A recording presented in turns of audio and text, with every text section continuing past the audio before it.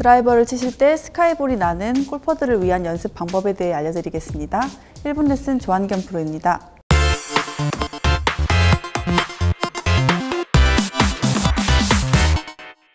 많은 분들이 생각하시는 이상적인 드라이버 탄도는 낮게 출발해서 떨어진 후 런이 많이 구르는 그런 궤도를 생각하실 겁니다. 하지만 스카이볼이 많이 나시는 골퍼들의 경우에는 다운스윙 때 몸이 이렇게 왼쪽으로 쏠리면서 다운블로가 맞기 때문에 이 궤도를 조금 더 완만하게 해주시는 연습 방법을 하셔야 됩니다. 제가 이 연습 방법을 소개해 드리면 일단 어드레스를 하신 후에 왼발을 하나 정도 뒤로 빼주세요. 그리고 뒤꿈치를 살짝 들어주면 체중이 자연스럽게 오른쪽으로 듭니다. 이때 주의하실 점은 백스윙 올리실 때도 체중이 오른발, 다운스윙 때도 오른발, 팔로우 때도 오른발을 두셔야 합니다.